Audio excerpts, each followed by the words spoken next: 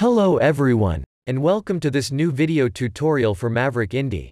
In this tutorial we will talk about importing PBR materials in Maverick Indie. First things first, let's open the material import scene. From the File menu select the New Material Ambience entry. This opens a simple illuminated sphere scene, with which we can very clearly see our imported materials. Let's open the Materials panel. From the main toolbar, you will find a PBR button. Click it to open a file browser window. We will import a Poliigon material for example. Poliigon.com sells very good PBR materials of many different kinds, they include all the necessary textures for a complete material appearance. They are well sorted in different categories and cover most of your everyday material needs. They have a material for everything. You will find many variations and plenty of different kinds for literally every use. Poliigon also has a collection of free materials for you to evaluate their quality yourself. Back to Maverick, let's import one of their materials. We will import this marble for example. This simple material has just four textures. Simply double-click on any of them, and the PBR dialog will show up.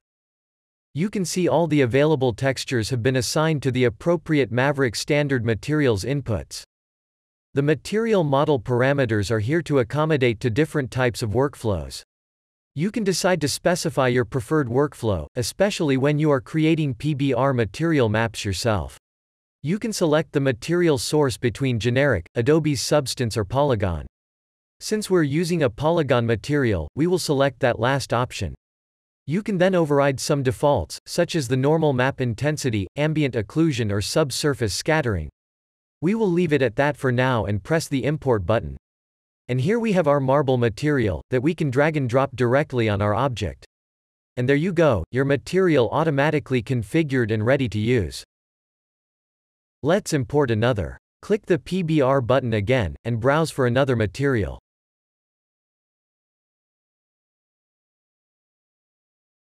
We will use the purple flowers for example.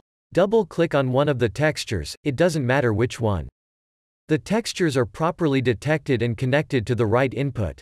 We leave the material model option to auto, as it was properly detected, and we select the Poliigon preset again. The material has an opacity map. You can change the way it behaves, for example to create glass. This is not the case here so we leave the option to read as opacity, and go ahead and import. Drag and drop the material and you're done. Let's see now how we can quickly change the material repetition, or tiling. With the material selected, go to the attribute editor. You will find a button at the top called Multitile. This will add a Maverick X-Form 2D node to every channel. You can now change the repeat X and Y, for example to 3. By clicking this button, you enable to change the tiling of every map simultaneously. And as usual you can reset any slider by right-clicking on it. It's all very simple. Let's try another material. For example this interior design rug. We can see there are three different colors, and five different texture sizes from 1K to, to high resolution. Maverick Indie's PBR importer can handle all these textures in one go. Again, double-click on any of them, and they are properly loaded into the right material channel. The material model is properly configured and the Poliigon option is still enabled from our previous import. Since that material had several different resolutions, the sets parameters at the bottom are now available. They allow you to select which of the variations you wish to use. You can see the textures names from the plug connections part updating as we change the sets settings. The different resolutions have also been loaded automatically and can be selected. Let's import the first variation at a 2K resolution. And drag and drop the material again, all configured and ready to use. Let's do this again. And this time we will use the second variation. And there you go, the pink variation is ready to use. Once again, but this time we will select the third variation, and click Import. And here is the last color variation. Each of these materials are still independent in the scene and can be applied again. Alright let's move on to a different material. Click the PBR button again and we will import a metallic one, like this metal designer weave steel. This material comes with a metalness texture, perfectly supported by Maverick. The material model parameters offer you the possibility to choose between a metallic rough and a specular gloss type. Although the metallic roughness model is becoming more mainstream, some material may use a specular glossiness model. In this case, the material uses a metalness texture, so we need the metallic rough option. Click Import, and apply the material. And there it is, all configured properly as a metal. Let's try the same one but as a specular glossiness material. Load the textures again, select the specular gloss option, and import. Applying the material shows that there is virtually no difference, as it should be. The specular gloss variant renders exactly the same as its metallic rough counterpart. Perfect. Let's see even more materials. This varnished wood, for example. This material comes with a glossiness map which qualifies it for the specular gloss model. But the importer detects it properly using the auto mode. If we selected the specular gloss model manually, as this material is not a metal, we would have to enable the dielectric option. Every material in the real world that is an insulator or bad electricity conductor such as wood, is a dielectric. This is also true for glass, concrete or paper and so on. Basically every non-metal material. And here is our perfectly configured wood. You can rotate the lighting to see the reflections at different places, by holding the Control and Shift keys and using the right mouse button.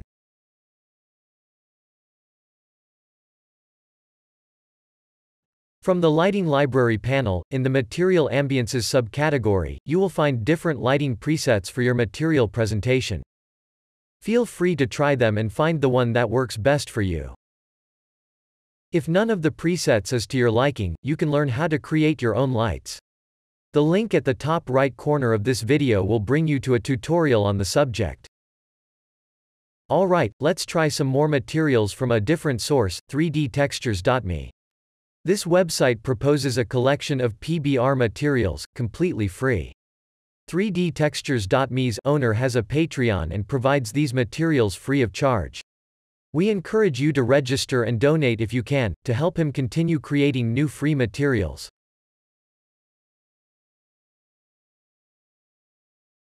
We will now import one of these materials, for example this metal grill.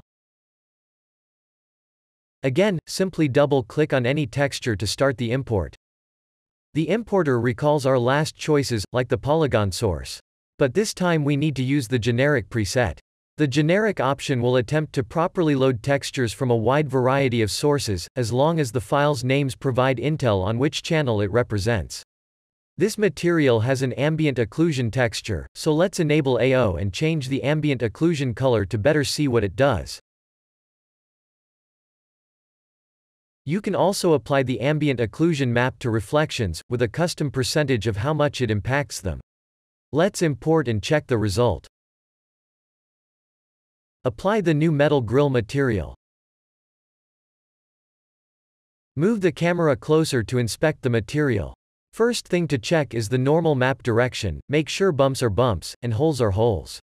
It appears it isn't the case, the normal map direction seem to be inverted. Click on the bump normal channel of the material, and switch the flip Y toggle off. There are two main kinds of normal maps around, and the most common one needs the flip Y toggle to be enabled. The normal map now looks correct. It represents holes as holes, and bumps as bumps. It can be difficult to determine if a normal map requires the flip Y toggle, so get closer and inspect your materials if you have any doubt. The red color that we can see a bit everywhere and particularly in the metal mesh holes, is coming from our decision to tint the ambient occlusion red, to see what it does better. If you go to the materials diffuse channel, you'll see the diffuse color map has been mixed with a solid red color using the Maverick composite texture. The second layer weight is set to 0.5, which is the 50% set in the importer dialog.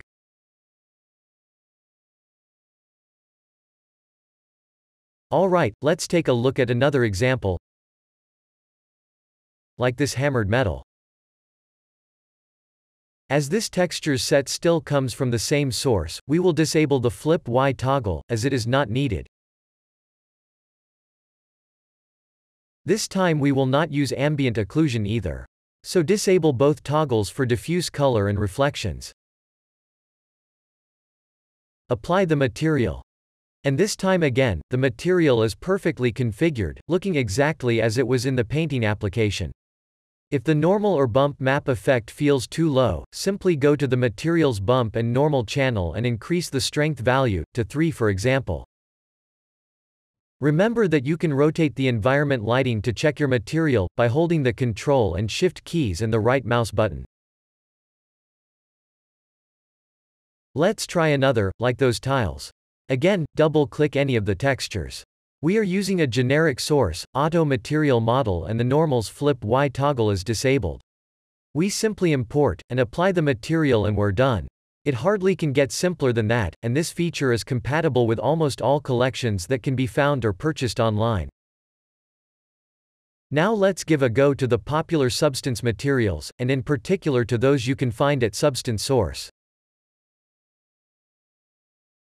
Substance Source proposes one of the largest collection of very high-quality materials to use with PBR-compatible render engines. Substance painter or designer materials often exhibit amazing procedural shapes and volumes, to create very unique renders. We highly recommend to give it a try. We will start with this beach sand. As usual, double-click on any of the available textures. Leave the material model to auto, and switch the material source to substance.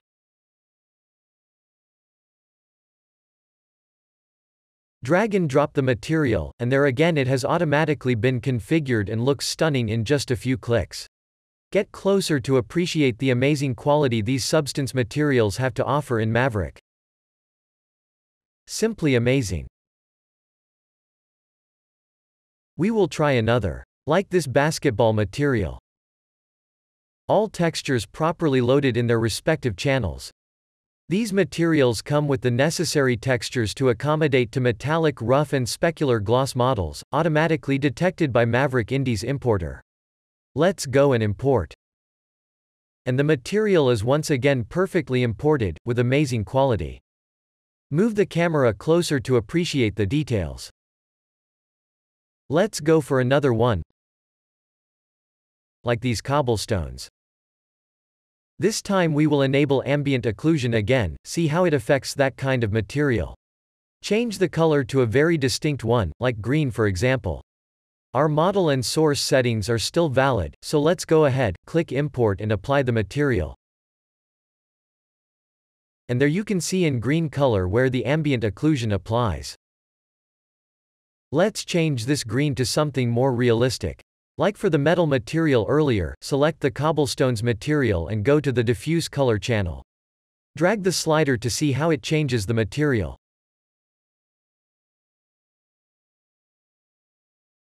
Change the color, for example to a light brown, or use a darker color to create the intended shadowing the ambient occlusion channel was designed for. Move the second layer's weight slider to see how it affects the material appearance.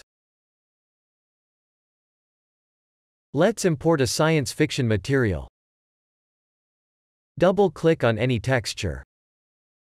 Our settings still apply from our previous import. We will leave the ambient occlusion out for this time. And here it is, looking absolutely gorgeous with its excellent normal map details. Importing PBR materials in Maverick Indie is remarkably easy. Now the last step after importing all those materials. It would be handy to save the ones we like the most to the library to be able to use them on any other model. The first thing to do is to generate the rendered previews. Select the materials by holding the Shift key and click the play button from the materials library. A progress bar will show up and display the thumbnail's rendering progression.